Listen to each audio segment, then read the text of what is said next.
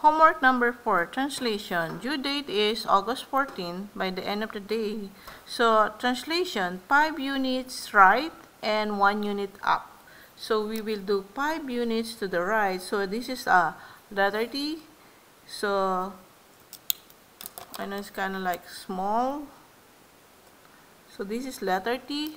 We're moving letter T 5 units to the right and 1 units up. So, we have 1, 2, 3, 4, 5, and 1 unit up. So meaning our new letter T, the location, T prime will be in this position.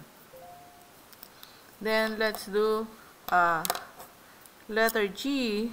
So 5 units to the right. So 1, 2, 3, 4, 5, and 1 units up.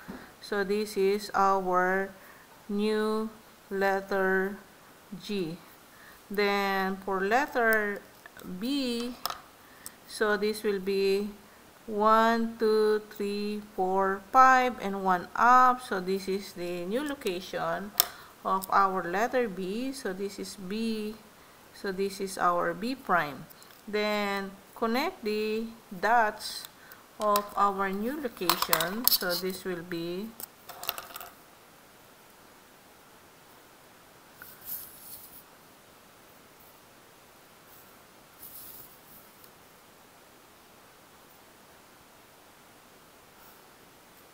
So this is our answer for number 1. So you will do the same steps in the rest of the work.